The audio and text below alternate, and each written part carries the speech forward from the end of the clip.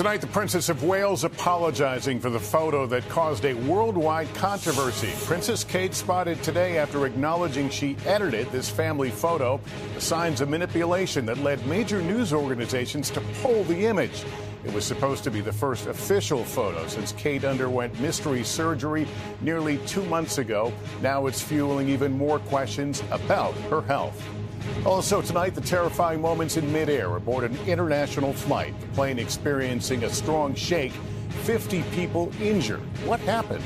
The powerful winds turning deadly in the Northeast, more than 50 million under alerts, flight delays, and tens of thousands without power. President Biden attacking something his likely opponent said about entitlements. Would former President Trump cut Social Security and Medicare? A delay in getting aid into Gaza, 200 tons of food. What's holding it up? It comes as the tensions between the U.S. and Israel spill out into the open. Our NBC News exclusive, Charles Spencer, the brother of Princess Diana, speaking out about the sexual abuse he says he suffered at an elite boarding school. And two families, how one helped the other achieve the American dream. Now they're paying it back. This is NBC Nightly News with Lester Holt. Good evening and welcome. A suspicion that there is more or maybe less than meets the eye in a widely circulated photo of Britain's Princess Kate is stirring broad speculation tonight about the princess and her health nearly two months after she was hospitalized for abdominal surgery. At first glance, the photo is a picture of happiness, a beaming princess embracing her children, the image released by Kensington Palace. But on closer examination, news agencies, including NBC News, identified signs the photo may have been manipulated. Tonight, in a statement, the princess admitting she does occasionally experiment with editing and offered her apologies. News agencies killed the photo, but serious questions about the palace's credibility are very much alive tonight. Molly Hunter has the story from London. Tonight, Kensington Palace now apologizing for the confusion caused by this undated photograph posted yesterday. The first official photo since her abdominal surgery back in January, meant to be a sweet gesture on UK Mother's Day, along with a message from Kate. Thank you for your kind wishes and continued support over the last two months. But the top stories this hour. But that's not what made the headlines. Just hours after posting it, multiple news agencies recalled the photo after concerns of potential manipulation. The AP says it appears that the source had manipulated the image in a way that did not meet AP's photo standards, adding, the photo shows an inconsistency in the alignment of Princess Charlotte's left hand seen right here. And the edge of Charlotte's hair appears to blur unnaturally, and you can see the corner of her skirt appears oddly straight. Kate's hair and zipper appear misaligned and the edges of these tiles appear repeated. The primary reason for releasing this photograph was for Kate and William to say nothing to see, you know, people can stop worrying. In fact, it had the opposite effect. It's made people more concerned than they were before and more suspicious. And then this morning, the palace apology with a confusing explanation. Signed C for Catherine, the princess wrote, like many amateur photographers, I do occasionally experiment with editing. I wanted to express my apologies for any confusion the family photograph we shared yesterday caused. I think the best thing to be done now would be if Kate and William released the original photograph, warts and all, with no amendments and no changes made, so that we, the public, could see that the changes weren't that big a deal. But of course, that depends on those changes being quite minor. So, Molly, has the palace offered anything about what changes were made to the photo? Lester, a Kensington Palace source says the adjustments were minor. We have gone back to Kensington Palace to ask for more details. We've also asked about that original photo, and the palace says they have no plans to release it. Lester? Molly Hunter, thanks. Some terrifying moments today in the air. Dozens of people injured after the Boeing 787 plane they were riding on encountered strong shaking. The cause is under investigation. Here's Tom Costello. Video from inside Chilean flight LATAM 800 capturing the aftermath of some harrowing moments. On board the flight from Sydney to Auckland, New Zealand, 50 injured passengers and crew members. At least one lying on the floor, others with bleeding head injuries after being thrown to the ceiling. 13 sent to area hospitals.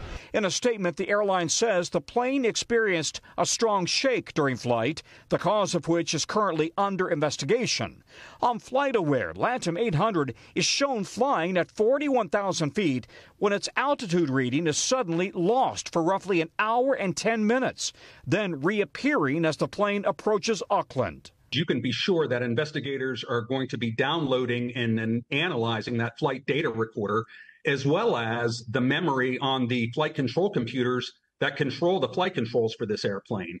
The Boeing 787 was supposed to fly on to Santiago after stopping in Auckland. Meanwhile, NBC News has confirmed the Justice Department has launched a new criminal investigation into Boeing following the blowout of the door plug on a 737 MAX 9 in January. The NTSB has determined the plane left the Boeing plant without four critical bolts that hold the plug in place. Among the questions, does Boeing's admitted quality control breakdown violate a previous agreement with Justice after two fatal Boeing MAX 8 crashes killed 346 people? A scathing FAA audit found Boeing failed to comply with its own quality control procedures. We're working with Boeing and uh, demanding that they come up with a very detailed plan within the next 90 days uh, to fix the quality issues that are out there. And Tom, last week the NTSB accused Boeing of not cooperating in the MAX 9 investigation, but Boeing, I understand, has now handed over some more information.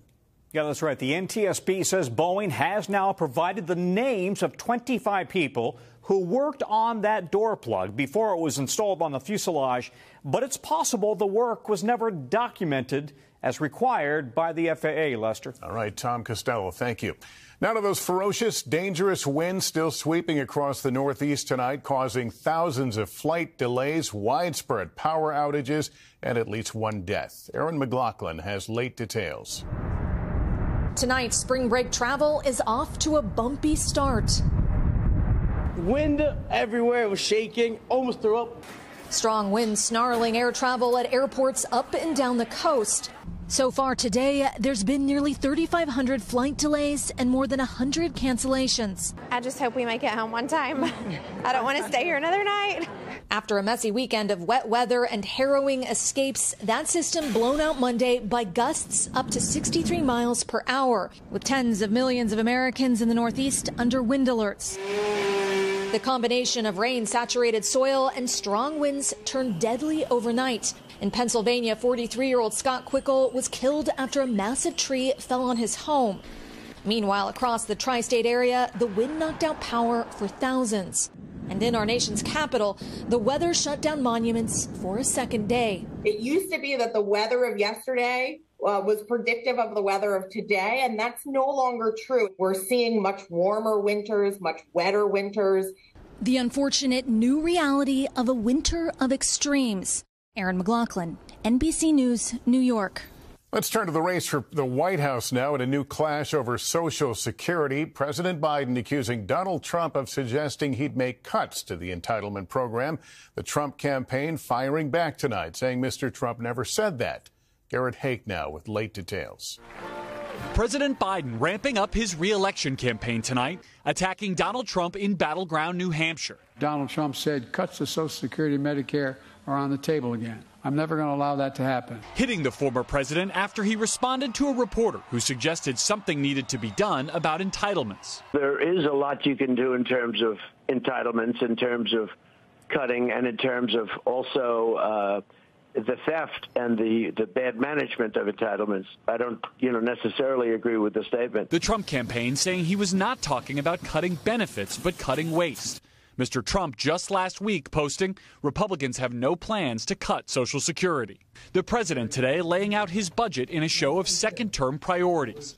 The largely symbolic plan would boost spending to $7.3 trillion while raising taxes on the wealthy and corporations.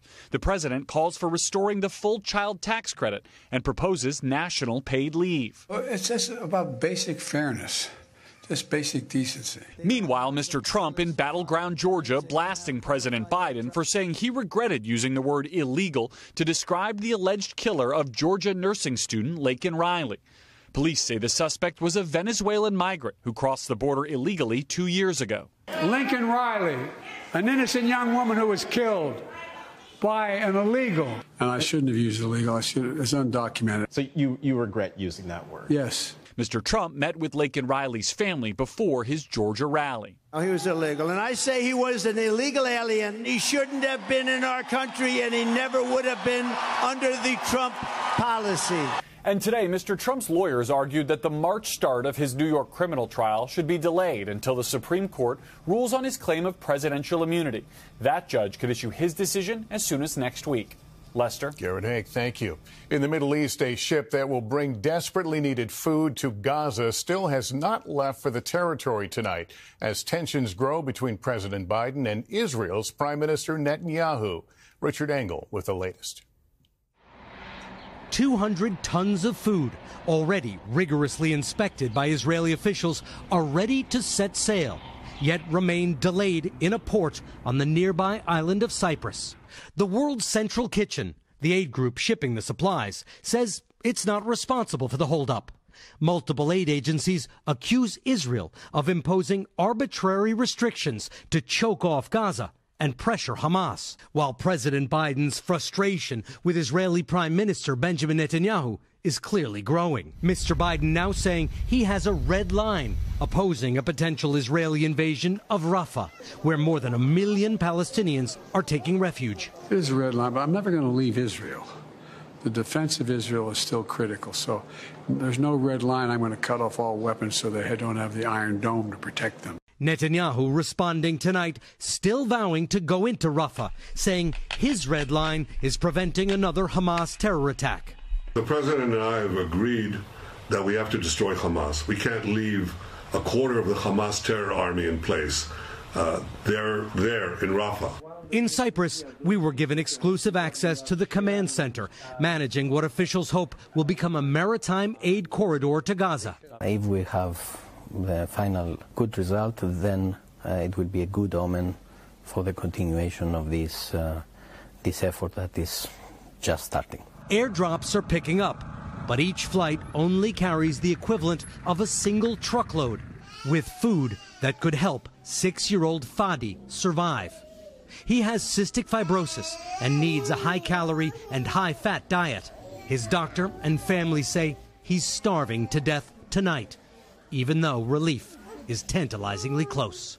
And that ship behind me is towing a barge and will only travel around three miles an hour and take three days to reach Gaza whenever it's given permission to leave. Lester? All right, Richard Engel, thank you. We'll take a break, and in 60 seconds, the stubbornly high cost of food and how one big grocery chain is keeping prices down. What you should know after this. At a time when Americans are frustrated by the high cost of groceries, some supermarket chains are keeping prices down by offering their own private brands. We get more from Sam Brock in The Price You Pay. With the competition for grocery shoppers cooking, years of inflation has taken its toll on family budgets. How important is price when it comes to where you shop? Ah, extremely important. You know, like the day to day, you have your constraints. It's quality of food and price. While food prices have finally started to plateau, one study shows they're up 25% since the start of the pandemic, and some items remain stubbornly expensive. It's that beef, it's that pork, it's that chicken, you know, and then also the dairy category. With customers seeking out lower prices on items like milk, Discount grocery store Aldi just announced plans for 800 new locations. And the milk here really is more affordable. This entire thing is about $3 a gallon, but it's also the sourdough bread and the chips, even the croissants. 90 plus percent of these products are private brand, which is one way they're keeping the price down. Other price sensitive chains are also expanding, from Costco adding two dozen U.S. stores in 2024 to Walmart bulking up over the next five years. Could it put downward pressure on some of the other major grossing retailers to lower their prices too? Absolutely. The big stores have already had this competition in mind. But if you're a very small two or three store location, Aldi's is probably your biggest threat. Consumers just hoping all these additions lead to a subtraction on their bills.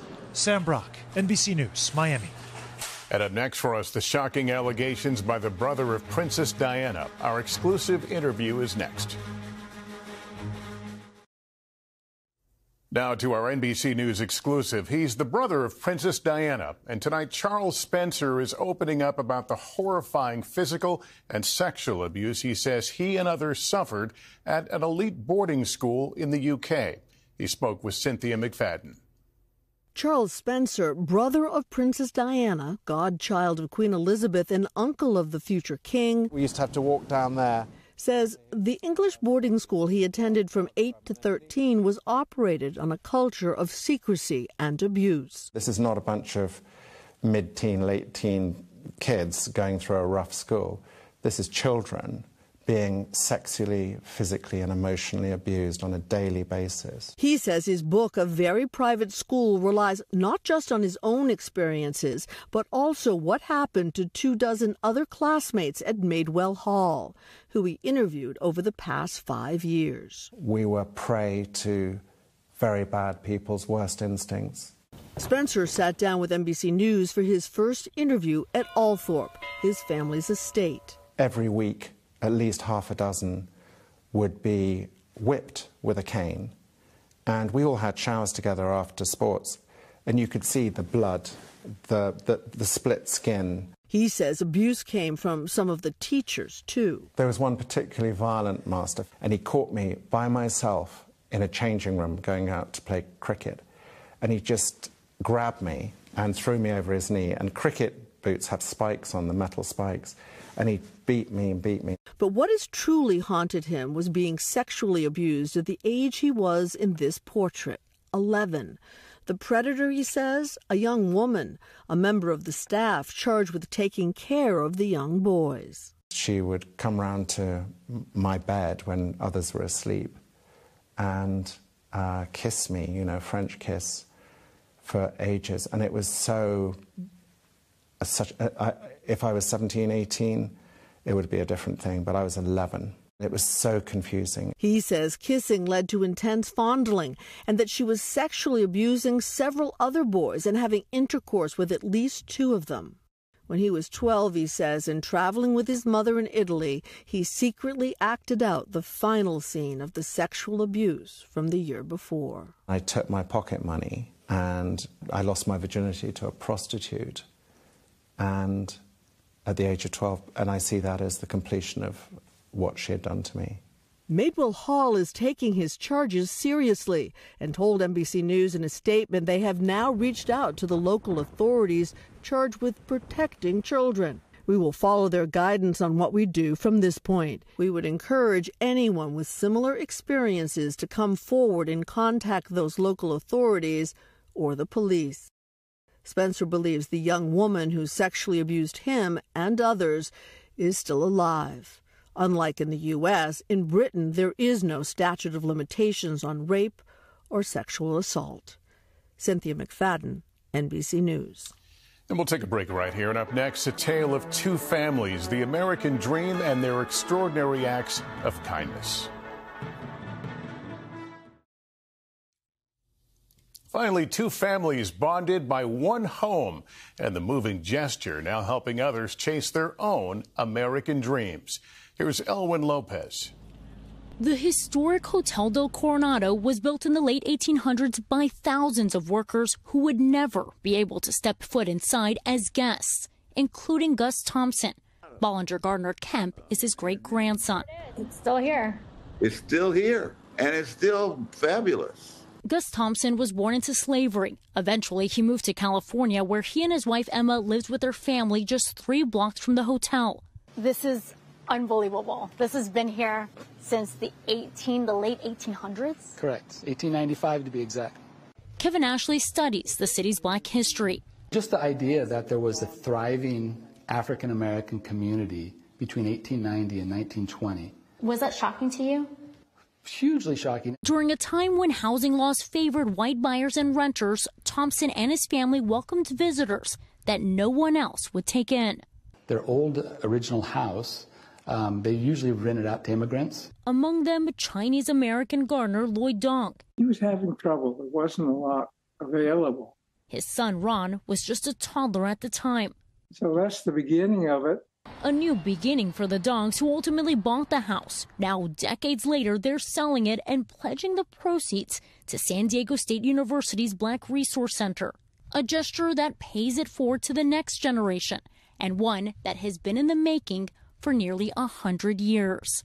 Paying it forward, shall we say, is just the icing on the cake. It's just, it's a beautiful story. Maybe it's one that the world needs to hear.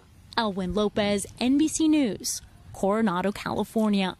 And that's nightly news for this Monday. Thank you for watching, everyone. I'm Lester Holt. Please take care of yourself and each other. Good night.